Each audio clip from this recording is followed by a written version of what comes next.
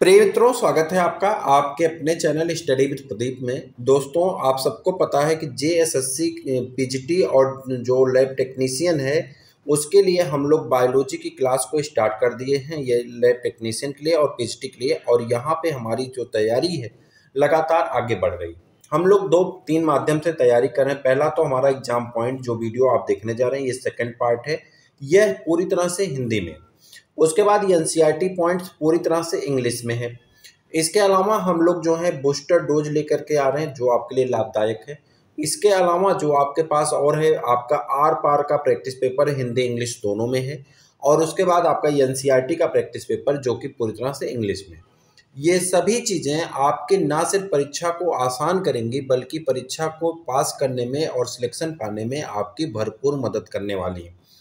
जून के सेकेंड सप्ताह तक आपके कोर्स को ख़त्म करने की जिम्मेवारी मैंने उठाई है और पूरी एन की क्लास क्लास इलेवन ट्वेल्थ की आपके सभी एग्ज़ाम पॉइंट्स उसके बाद आपके बूस्टर डोज और आपके प्रैक्टिस पेपर और मॉडल पेपर सब हम आप तक प्रोवाइड कराएँगे।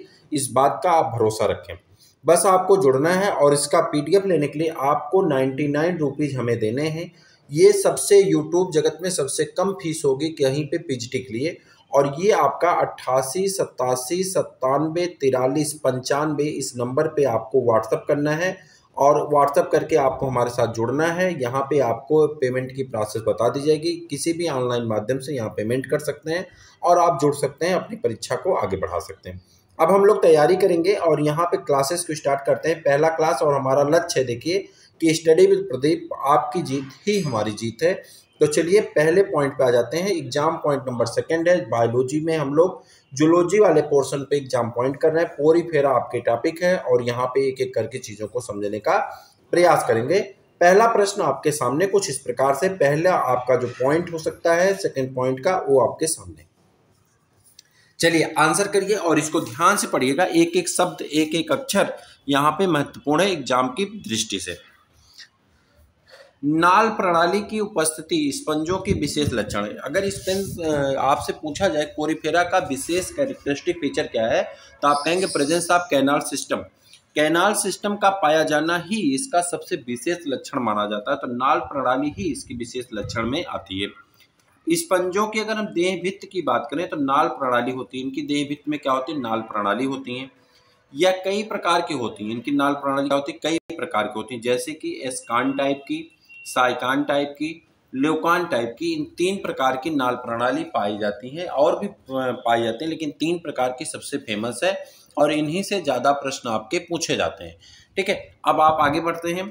पहली प्रणाली के बारे में बात करते हैं, कौन सी? एस्कान प्रणाली की। एस्कान प्रणाली के बारे में दिया गया, देखिए। एस्कान नाल प्रणाली ल्यूकोसोलिनिया में पाया जाता है। आपको मैच कराने के लिए आता है चार ऑप्शन। ल्यूकोसोलिनिया में पाई जाती हैं। साइकान प्रकार की नाल प्रणाली, साइकान प्रकार की नाल प्रणाली किसमें पाई जाती है? स्काइफा में पाई जाती है, जबकि ल्यूकान टाइप की नाल प्रणाली किसमें पाई जाती है? स्पॉन्जिला में पाई जाती है। ये तीनों पॉइंट जो अभी आपने सेकंड पॉइंट में पढ़ा है, एस्कान, ल्यूकान, साइकान, ये तीनों आप रट्टा मार लीजिए, याद कर लीजिए, लिख के रख लीजिए, इसमें से एक प्रश्न आपका मिलने वाला है। और आपकी परीक्षा में इसका कार्य आपको पड़ेगा। इसलिए याद रखेंगे तो आपको इसका लाभ अवश्य मिलेगा। आगे आ जाते हैं। पॉइंट नंबर थर्ड पे। साइकान नाल प्रणाली, साइकान में पाई जाती है। साइकान नाल प्रणाली किसमें पाई जाती है? साइकान नाल प्रणाली साइकान में पाई जाती हैं। और जो है, या किसमें स्काइफा या साइकान में पाई जाती हैं। इसका विकास मूलतः स्पंज की दीवारों की सतहों के बलित होने के कारण होता है। सतह जो होती हैं एस्कान की, वो बलित होती हैं। बलित होने मतलब मूर्ति हैं, जिसकी वजह से बलित होने के कारण होता है। बलन के कारण, वलन के कारण देह भित्त सपाट न होकर के नलिकाओं का रूप ले लेती हैं, जिन्हें अरीय नलिका कहते हैं। कह रहा, अरीय नलिका कहते हैं, यानी रेडियल कैनाल कहा जाता है। अरीय नलिका कहते हैं।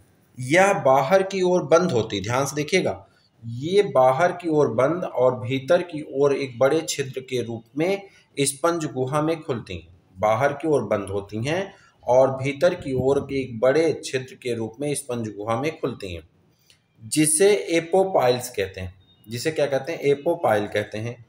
अरी नलिकाओं की दीवारों पर अरी नलिकाओं की दीवारों पर, याद रखिएगा, सुनिएगा अरी नलिकाओं की दीवारों पर पाए जाने वाली अस्थियाँ अरी नलिकाओं की दीवारों पर पाए जाने वाली बोन्स, अस्थियाँ, प्रोसोपाइल कहलाती हैं।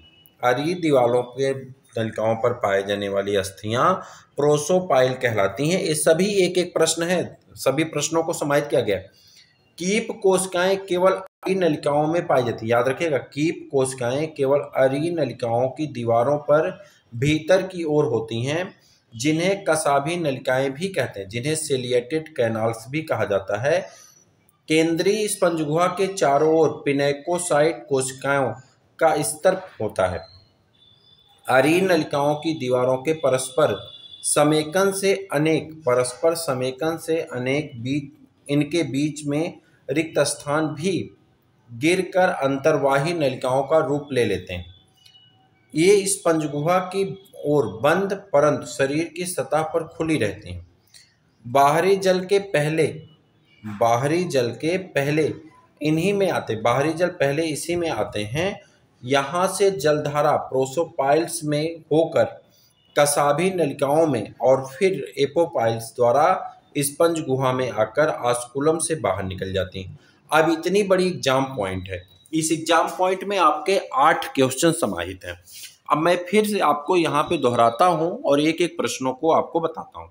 चलिए, फिर से पीछे से आइए और एक एक प्रश्नों को आप देखिए। सबसे पहले यहाँ पे प्रश्नों को देखें, उसके पहले मैं आपको यहाँ पे देखिए, यहाँ से शुरू होती है ये आपकी एग्ज़ाम पॉइंट कह रहा है, फिर से देखिएगा मैच करिए। साइकान नाल प्रणाली साइकान में पाई जाती है। यहाँ तक क्लियर हो गया। अब इसके बाद इसका विकास, पूछा जाएगा कि इस नाल प्रणाली का विकास कहाँ से होता है तो आप कहेंगे इसका विकास मूलतः अब इसमें अगर ध्यान से देखेंगे तो कह रहा है कि इसका विकास मूलतः स्पंज की दीवारों से होता है। जो स्पंज की दीवारें हैं, आपको पता होगा कि स्पंज डिप्लोब्लास्टिक होता है तो डिप्लोब्लास्टिक की जो दीवारें हैं, उनके बलित होने के कारण, यानी उनके मुड़ने के कारण बनती हैं क्या? नाल प्रणाली बनती है। ठीक? वलन के कारण देहभित सपाट न रह करके, सपाट मतलब क्लियर ना हो करके ये मुड़ जाती हैं और मुड़ने के कारण वहाँ पे होल बन जाता है, नली बन जाती है, जिसकी वजह से सपाट न रह करके नलिकाओं का रूप ले लेती। वलन के कारण, देखिए, वलन का मतलब होता मोड़, और मोड़ के कारण क्या बन जाएगी? नली बन जाएगी। जैसे ये मुड़ गई तो इसमें क्या हो गया? ये होल हो गया और ये नली का निर्माण हो गया। ठीक? जिन्हें अरी नलिका कहते हैं। अरी नलिका मतलब अब यहाँ से आप खुद ही सोचिए कि इनमें कैसी सिमेट्री पाई जाती है रेडियल सिमेट्री पाई जाती है। तो आप यहाँ से भी कंपेयर कर सकते हैं कि रेडियल कैनाल पाई जाएगी। यह बाहर की ओर बंद होती है। अब यहाँ पे एक पॉइंट नोट करने वाली है, कह रहा है यह बाहर की ओर बंद होती हैं और भीतर की ओर बड़े क्षेत्र के रूप में खुलती हैं। बाहर की ओर बंद होती हैं और भीतर की ओर बड़े क्षेत्र के रूप में स्पंज गुहा में खुलती हैं। जिसे एपोपाइल कहते हैं। बाहर की ओर बंद है, अंदर के दिशा में खुलती हैं, एपोपाइल कहलाती अब एक साधारण सा क्वेश्चन निकलता है कि मैंने एक बार ये वीडियो जो बनाया यूपी डिजिटी में तो सज्जन ने कमेंट किया कि भाई जब बंद है तो कैसे जाएँगे? आप सबको पता है कि यहाँ पे सेल के द्वारा क्या किया जाता है? गैस पानी को इसको एब्जॉर्ब किया जाता है सेल मेम्ब्रेन से। उस प्रक्रिया का नाम आप बताइए कि ऑस्मोसिस होगा कि डिफ्यूजन होगा? इस प्रक्रिया का नाम आप बताइए। कह रहा है कि पानी जो है एपोपाइल कहते हैं, इस नली को क्या कहते हैं? एपोपाइल कहते हैं।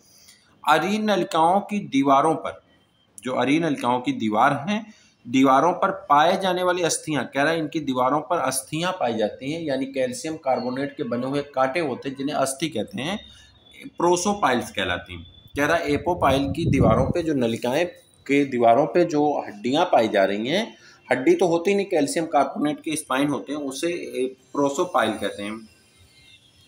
कीप कोशिकाएँ केवल अरी नलिकाओं की दीवारों के भीतर की ओर ही होती हैं। इन्हें कसाभी नलिकाएँ कहते हैं। केंद्रीय स्पंजगुहा, अगर केंद्रीय स्पंजगुहा के चारों ओर पिनेकोसाइट की कोशिकाएँ पाई जाती हैं, केंद्रीय स्पंजगुहा के चारों ओर पिनेकोसाइट की कोशिकाओं का स्तर होता है।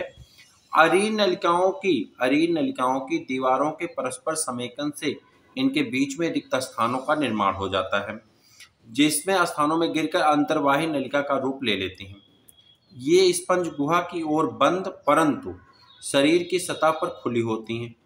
बाहरी जल इन्हीं, पहले इन्हीं में आता है यहाँ से जलधारा, बाहरी जल पहले इसी में आता है और यहाँ से जलधारा प्रोसोपाइल्स में होकर कसाभी नलिकाओं की ओर, फिर एपोपाइल्स द्वारा स्पंज गुहा की आकार में जाकर के आस्कुलम से बाहर निकल जाते हैं। अगली पॉइंट पे आ जाते हैं। साइकान पोरिफेरा संघ का एक समुद्री जीव है। साइकान जो है, पोरिफेरा संघ का एक समुद्री जीव है, यानी मैरीन एनिमल है। साइकान में कोई विशेष जनन अंग नहीं पाया जाता। साइकान एक द्विलिंगी प्राणी है। कह रहा कोई विशेष अंग भी नहीं पाया जाता और द्विलिंगी द्विलिंगी प्राणी है। नर और मादा दोनों प्रकार के युग्मक का निर्माण यानी गैमीट का फॉर्मेशन विकास एक ही प्राणी में होता है। इनका विकास अमीबोसाइट आर्कियोसाइट कोशिकाओं के कारण साइकान में क्रॉस फर्टिलाइजेशन होता है। साइकान द्वारा जल में मुक्त किए गए शुक्राणु, जब किसी अन्य साइकान के अंदर छिद्रों से प्रवेश करते हैं तो मीजोग्लिया में उपस्थित तो मीजोग्लिया में उपस्थित मादा युग्मक को निषेचित कर देते हैं और इस प्रकार इनमें क्रॉस फर्टिलाइजेशन की प्रक्रिया पूरी हो जाती। इधर आ जाते हैं। क्लियोना क्लियोना को क्या कहते हैं? क्लियोना को सामान्यतः बोरिंग स्पंज के नाम से जाना जाता है। यह स्पंज ओएस्टर यानी मोती प्रदान करने वाले मोलस्का मोलस्का में मोती प्रदान करने वाले क्या कहते हैं? पर्ल ओएस्टर कहते हैं।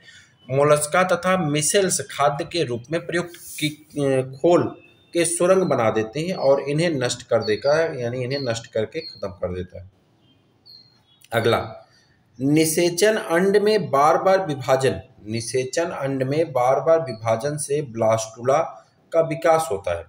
ब्लास्टुला की कोशिकाएँ, ब्लास्टुला की कोशिकाएँ एपिथेलियम स्तर बनाती हैं, जिसे ब्लास्टोडर्म कहा जाता है। कह रहा ब्लास्टुला की कोशिकाएँ एपिथेलियम स्तर बनाते हैं, जिसे ब्लास्टोडर्म कहा जाता है। ब्लास्टुला के भीतर तरल तरल द्रव से भरी गुहा ब्लास्टोसील कहलाती है। ब्लास्टोडर्म, ब्लास्टुला के भीतर तरल द्रव से भरी गुहा ब्लास्टोसील कहलाती है।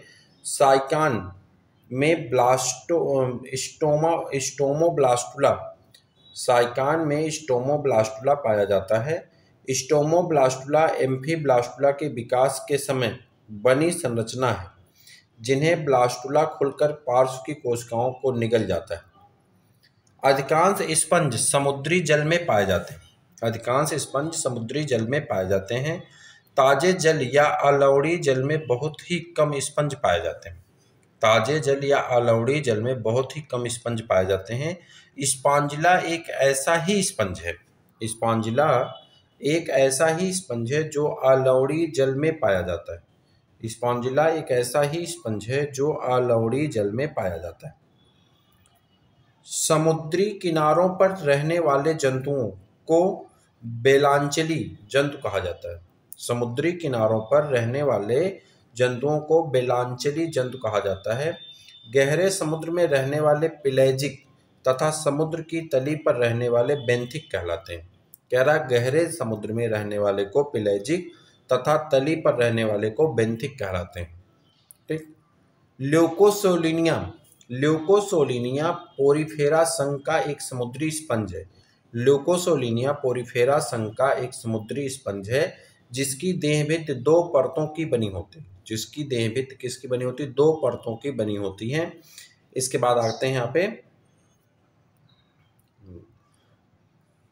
बाहरी परत को क्या कहते हैं? एपिडर्मिस बाहरी परत को क्या कहते हैं? एपिडर्मिस या पिनेकोडर्म कहते हैं, जब, जिसकी कोशिकाएँ चपटी होती हैं। पिनेकोडर्म की कोशिकाएँ कैसी होती हैं? चपटी होती हैं फ्लैटेंड होती हैं। इन्हें पिनेकोसाइट के नाम से जाना जाता है।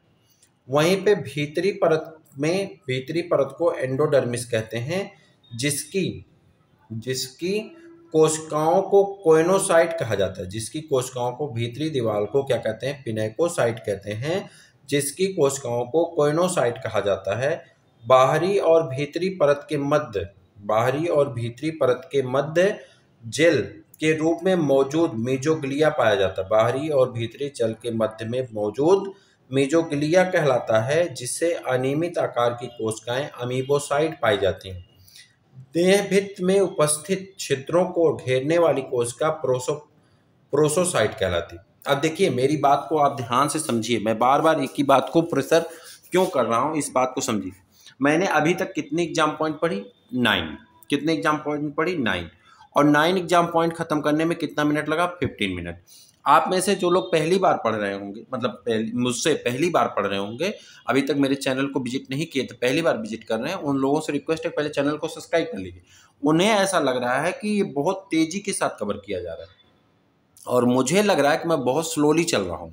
ठीक है? ऐसा इसलिए है कि मैं टाइम पास वाली बात कम करता हूँ direct question to question answer to answer अब बात यहाँ पे है कि यहाँ पे आपको, मैं बार बार कह रहा हूँ कि आप नाइन्टी नाइन रुपीज़ कर करके पचास से पचपन एग्ज़ाम पॉइंट हैं, इन्हें आप प्राप्त कर लें। जिन एग्ज़ाम पॉइंट को यहाँ पे पढ़ाया जा रहा है, उन एग्ज़ाम पॉइंट को आप दोबारा से एक बार और पढ़ें, मेमोराइज करें, अपने कापी पे राइट करें। इससे क्या होगा, वो धीरे धीरे आपको याद हो जाएँगे।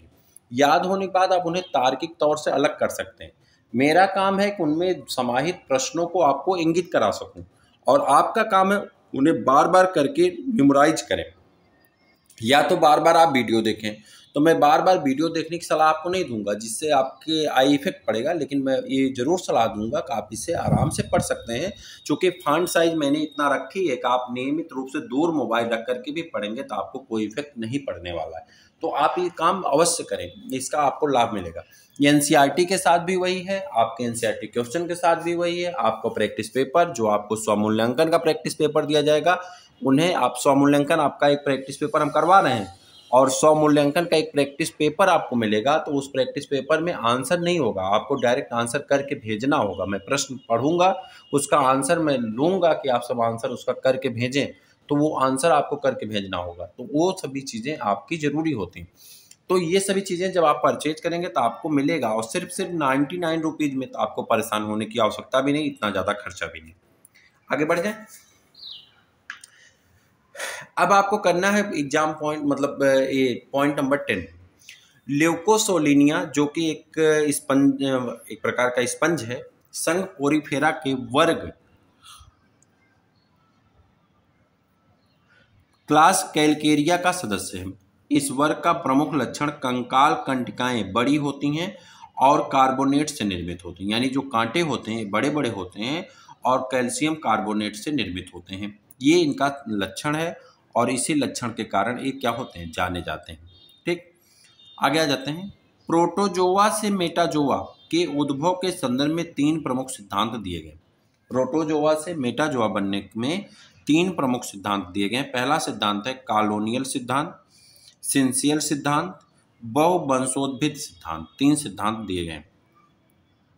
जिसमें कॉलोनियल सिद्धांत सबसे अधिक मान्य है, इसमें एक वंशी उद्भव के आधार बताया गया है, बताया गया। एक वंशी उद्भव का आधार बताया गया, बस इतना याद रखना है। आगे आ जाते हैं। गहरे समुद्र में रहने वाले जंतु, गहरे समुद्र में रहने वाले जंतु, जो चार हज़ार से सात हज़ार मीटर तक अधिक गहराई में पाए जाते हैं एवाइसल कहलाते हैं। क्या कहलाते हैं? एवाइसल कहलाते हैं, याद रखिएगा।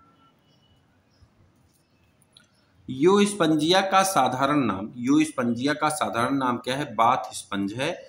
इसका कंकाल दृढ़ श्रृंगी स्पंजी तंतुओं का बना होता है। कंकाल का रंग उड़ाकर सुखा दिया जाता है और इसे स्नान में कार्य में लाया जाता है। स्नान करने के लिए, इसे रगड़ने के शरीर साफ़ करने के लिए उपयोग में लाया जाता है। इसलिए इसे बाथ स्पंज कहते हैं। यू स्पंजिया का नाम है, बाथ स्पंज, और ये क्या होता है, कड़ी होते हैं तो इन्हें जब सुखवा दिया जाता है तो ये आसान हो जाते हैं, मुलायम हो जाते हैं, ऐसे से शरीर साफ़ किया जाता है। स्पंज की देह भित्त में तीन स्तर होते हैं। स्पंज की देह भित्त में कितने स्तर होते हैं? तीन। जिनमें विभिन्न प्रकार की कोशिकाएँ होती हैं। इसमें थीसोसाइट, मीसोफिल स्तर की होती हैं। जो भोजन संचय का कार्य करती हैं। थीसोसाइट मीसोफिल स्तर की होती हैं, जो कि भोजन संचय का कार्य करती हैं। ट्रोपोसाइट भी मीसोफिल स्तर की होती हैं, जिनका कार्य पोषण प्रदान करना होता है। कह रहा है, इनका काम पोषण प्रदान करना है। पिनेकोसाइट बाहर की पिनेकोडन की कोशिकाओं से बनी होती हैं, तथा कोइनोसाइट भीतर की कोइनोसाइट कोशिकाओं से बनी होती हैं, और इनका काम होता है रक्षात्मक कार्य करना, यानी प्रोटेक्शन का कार्य करती हैं। कोइनोसाइट किसका कार्य करती हैं? प्रोटेक्शन का, पिनेकोसाइट किसका काम कर रही बाहरी स्तर का निर्माण कर रही हैं। और वहीं पे अगर बात करें, ट्रोफोसाइट तो ट्रोफोसाइट किसका काम कर रही है? पोषण प्रदान कर रही हैं। और ऊपर चले जाएँ अगर तो थीसोसाइट हैं। थीसोसाइट किसका काम कर रही है? भोजन संचय का काम कर रही हैं। यानी तीनों कोशिकाओं के बारे में विशेष कार्य उनके लिख दिए थीसोसाइट, भोजन संचय, ट्रोफोसाइट जो है, पोषण प्रदान करना, पिनेकोसाइट या पिनेकोडर्म, कोइनोसाइट भीतरी रक्षा का कार्य करती हैं, यानी रक्षात्मक आवरण का निर्माण करती हैं। स्पंज में पुनर्जनन, यानी रीजनरेशन की कैपेबिलिटी पाई जाती है। क्षमता न केवल क्षतिग्रस्त या खोए हुए हिस्सों को बहाली में प्रकट करती हैं, यानी उन्हें बनाती हैं, बल्कि टुकड़ों या एकल कोशिकाओं से एक नए वयस्क का पूर्ण निर्माण कर देती हैं। स्पंज के पुनर्जनन में आर्कियोसाइट स्पंज के पुनर्जनन में आर्कियोसाइट महत्वपूर्ण भूमिका निभाती है। ये कोशिकाएँ स्पंज के मध्य स्तर में पाई जाती हैं। ये कोशिकाएँ स्पंज के मध्य स्तर में पाई जाती हैं। कौन? आर्कियोसाइट स्पंज के मध्य स्तर में पाई जाती हैं, याद रखिएगा। स्पंज की देह भित्ति। स्पंज की देह भित्ति में दो प्रमुख स्तर होते हैं। स्पंज की देह भित्ति में दो प्रमुख स्तर होते हैं। बाहरी स्तर को पिनेकोडर्म कहते हैं। बाहरी स्तर को क्या कहते हैं? पिनेकोडर्म कहते हैं, जो कि पिनेकोसाइट की कोशिकाओं का बना होता है। तथा भीतरी स्तर को कोइनोडर्म कहते हैं, जो कोइनोसाइट की कोशिकाओं का बना होता है। इसके बाद बात करते हैं, कोइनोसाइट की कोशिकाओं से बना होता है। कोइनोसाइट कोशिकाएँ कसाब यानी सीलिया युक्त होती हैं और कालर कोशिकाएँ भी कहलाती हैं। कह रहा कोइनोसाइट की कोशिकाएँ कालर युक्त होती हैं, यानी यहाँ पे सीलिया पाई जाती हैं, इसीलिए इन्हें कालर कोशिकाएँ कहते हैं। ये कोशिकाएँ स्पंज का अद्वितीय लक्षण होती हैं, यानी कालर कोशिकाओं का पाया जाना स्पंज स्पंज का मुख्य लक्षण की श्रेणी में आता है? स्पंज की देह भित्त, स्पंजों की देह भित्त जो है मीजोफिल स्तर से भरी होती हैं, जिसे स्क्लोरोब्लास्ट कहते हैं। मीजोफिल स्तर से भरी होती हैं, जिसे स्क्लोरोब्लास्ट कोशिकाएँ कहते हैं। ये कंटिका का निर्माण करती हैं। इस निर्माण के लिए समुद्री जल में सिलिका का निष्कासन करती हैं। सिलिका तत्व के बने होते हैं। एक तरफ़ हो गया कैल्शियम कार्बोनेट और दूसरी तरफ़ क्या हो गया सिलिका हो गया। सिलिका का निष्कासन करती हैं। स्पंजों की केंद्रीय गुहा को, स्पंजों की केंद्रीय गुहा को स्पांजोसील कहते हैं। इसी में पैरागैस्ट्रिक गुहा पाई जाती है। स्पंजोसील कहते हैं जिसमें पैरागैस्ट्रिक गुहा पाई जाती है। अगला समुद्री अखरोट टीनोफोरा संघ के जंतुओं को कहते हैं। समुद्री अखरोट जो हैं, ये टीनोफोरा के संघ के जंतुओं को कहते हैं। इन्हें कॉम्ब जेली या समुद्री अखरोट भी कहते हैं, क्योंकि इनके शरीर पर आठ अनुप्रस्थ काट पाए जाते हैं, अनुप्रस्थ प्लेट्स पाई जाती हैं। नितलस्त यानी बेंथिक जीव बेंथिक जीव किसे कहते हैं? समुद्र के तल पर रहने वाले जीव नितलस्त या बेंथिक कहलाते हैं। सरित जीवी लोटिक, बहते हुए ताजे जल में रहने वाले सरित सरित जीवी कहलाते हैं। सरोजीवी, लेंटिक, एक होता लोकटिक और दूसरा है लेंटिक। स्थिर जलाशयों में रहने वाले जीव लेंटिक कहलाते हैं। पिलेजिक, अम्बुधि कहते हैं हिंदी में। समुद्री जल में स्वतंत्र रूप से रहने वाले जो हैं, क्या कहलाते हैं? पिलाजिक कहलाते हैं। कंकजन स्क्लोरोब्लास्ट कंटिकाओं का निर्माण करते हैं। और उसके बाद संचाणु, जो थीसोसाइट होते हैं एक खाद्य पदार्थों का संग्रह करते हैं। संचाणु यानी जो थीकोसाइट हैं, खाद्य पदार्थों का संग्रह करते हैं। नेक्स्ट पॉइंट आपकी है, आर्कियोसाइट। एक सेकेंड, खाद्य पदार्थों का संचय करते हैं, ठीक है? इसके बाद आपका अच्छा इसके बाद आ जाता है आपका आर्कियोसाइट। आर्कियोसाइट्स जो हैं, ये टोटीपोटेंट कोशिकाओं जो किसी भी दूसरे प्रकार की कोशिकाओं में परिवर्तित हो सकती हैं। आर्कियोसाइट की कोशिकाएँ टोटीपोटेंट टाइप की कोशिकाएँ होती हैं, जो किसी भी दूसरे प्रकार की कोशिकाओं में परिवर्तित हो जाती हैं। ट्रोफोसाइट ट्रोफोसाइट भोजन प्रदान करता है। ट्रोफोसाइट क्या करता है? भोजन प्रदान करता है। क्रोमोसाइट क्रोमोसाइट की कोशिकाएँ उत्सर्जी पदार्थों तथा रंगा पदार्थों को स्रावित करती हैं। क्रोमोसाइट उत्सर्जी पदार्थों या रंगा पदार्थों को स्रावित करती हैं। तो इतने एग्ज़ाम पॉइंट ऐसे हैं जो परीक्षा में आपसे रिपीट हो सकते हैं। देखिए पोरी फेरा एक बड़ा ग्रुप है, लेकिन आपके लिए जो सिलेक्ट करके ब्रीफ किया गया है, ब्रीफ करके हम लोग 26 एग्ज़ाम पॉइंट तक 28 एग्ज़ाम पॉइंट तक पहुँच पाए हैं। यानी इस एग्ज़ाम पॉइंट में 28 में से हमें भरोसा है कि आपके एक दो प्रश्न जो पूछे जाएँगे, वो यहाँ से मिल जाएँगे। इसलिए मैं बार बार कह रहा हूँ किसे आप परचेज करेंगे तो इसका लाभ आपको एग्ज़ाम में हंड्रेड टेन परसेंट मिलेगा, चूँकि हमें इस बात पे भरोसा है, और आप जब परीक्षा दे के आएँगे तो आप भी इस बात पे भरोसा करेंगे। अब हम लोग इंटर करेंगे कोलेंट्रेटा में, और कोलेंट्रेटा के आपके 25 पॉइंट तो यहाँ पे मिल जाएँगे और उसके बाद के जो पॉइंट्स हैं, वो दूसरे वीडियो में आपके ऐड किए जाएँगे। चलिए कोलेंट्रेटा को स्टार्ट करते हैं। फंजिया। फंजिया का साधारण नाम कुकुरमुत्ता कोरल है। कुकुरमुत्ता कोरल कहा जाता है इसे, किसे? फंजिया को कुकुरमुत्ता कोरल के नाम से जाना जाता है। लाल कोरल को कोलेरियम कहते हैं। लाल कोरल को कोरेलियम कहते हैं। मस्तिष्क कोरल को मेंड्रेना कहते हैं। मेंड्रेना कहते हैं। तथा आर्गन पाइप कोरल को ट्यूबी ट्यूबीपोरा कहा जाता है। ठीक, याद रखिएगा, पहली पॉइंट सबसे महत्वपूर्ण।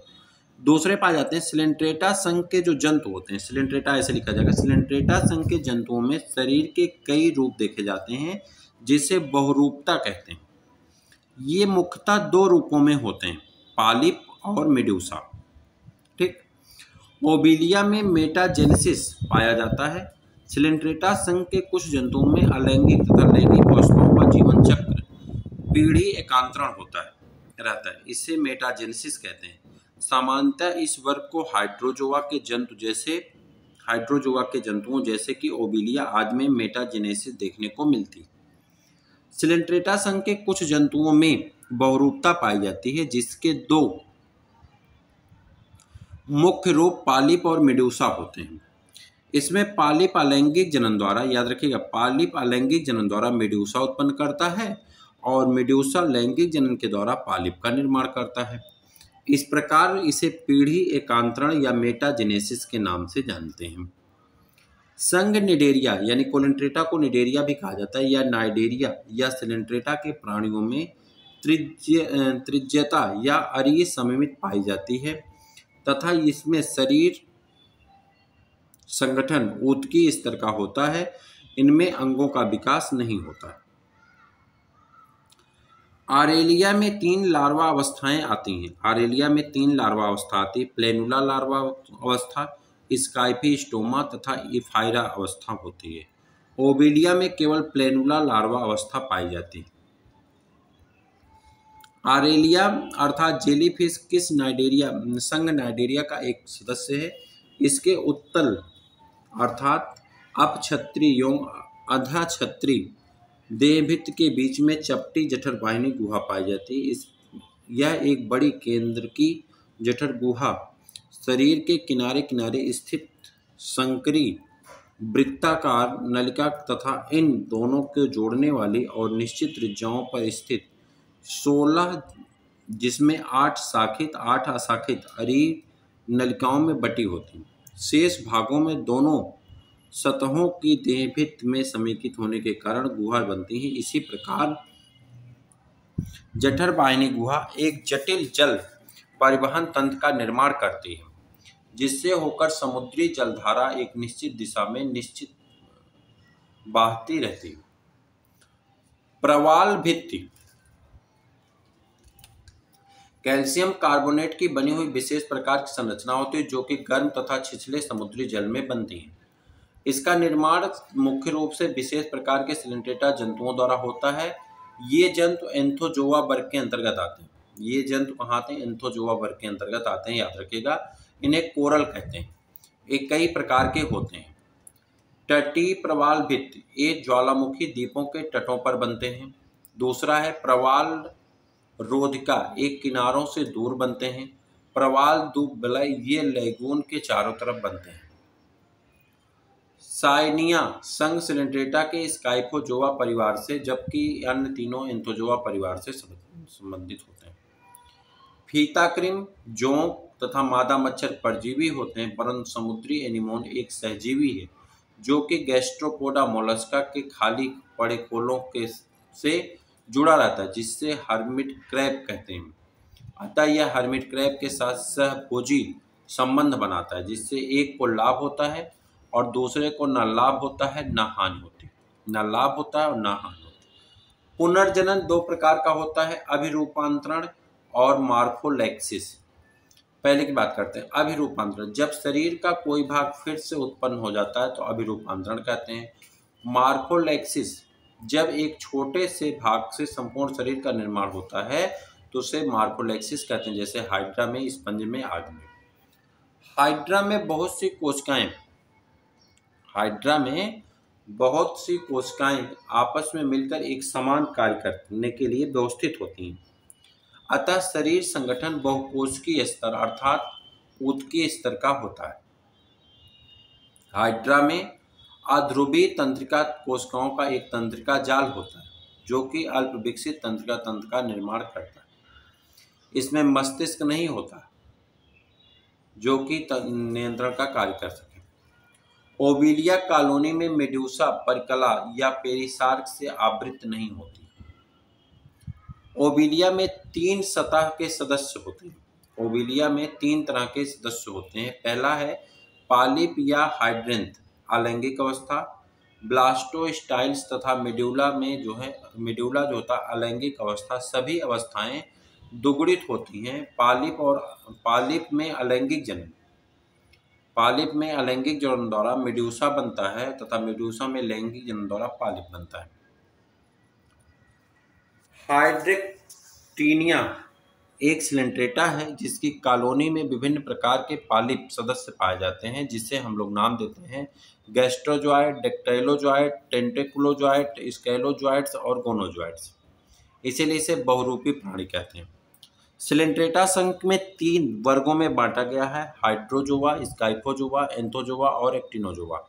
एक्टिनोजोवा को तीन उपवर्गों में बांटा गया है आक्टोकोरेलिया हेक्सोकोरेलिया, हेक्साकोरेलिया और ट्यूबिलेटा।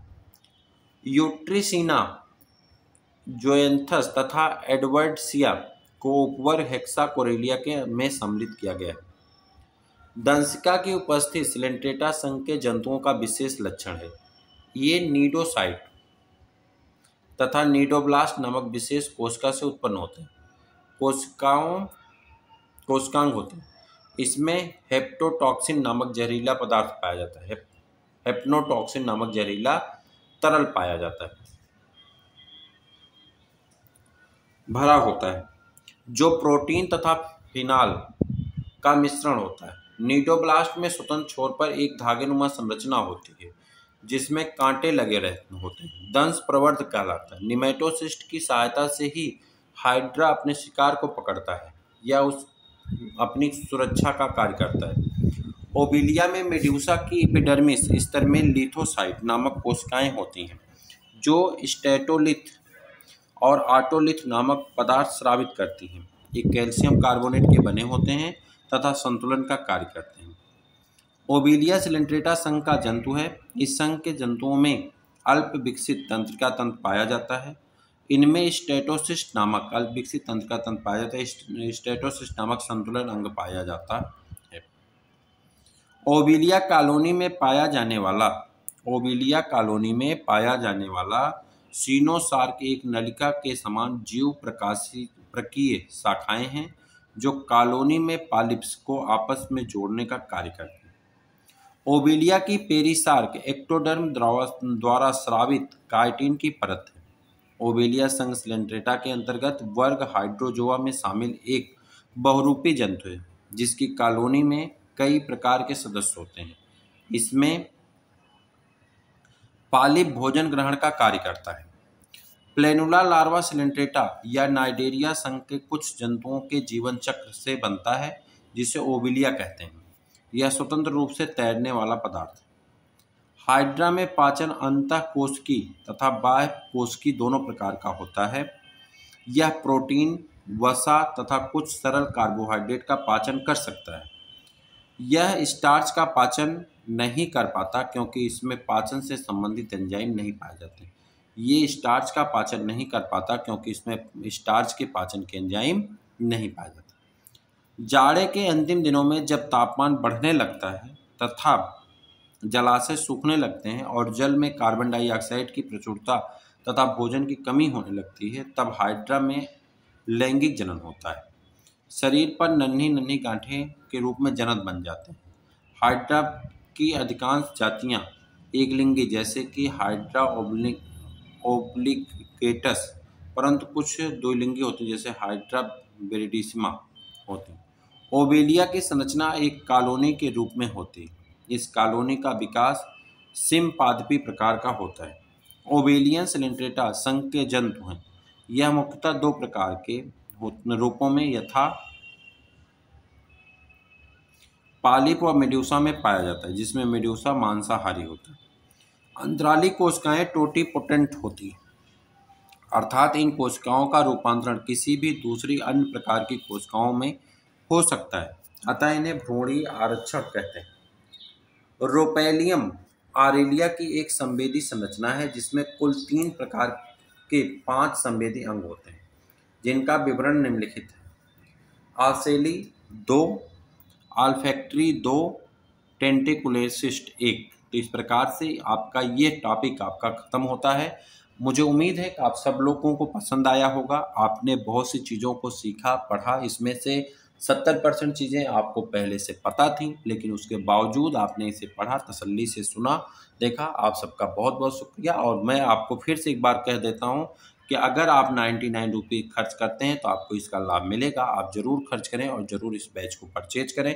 आप इसका हिस्सा बने, आपको इसका लाभ अवश्य मिलेगा। मैं बार बार इस बात को दोहरा रहा हूँ, इसलिए कि ये आपके हित में फिर मिलेंगे किसी और वीडियो में। तब तक लिए इजाज़त दीजिए।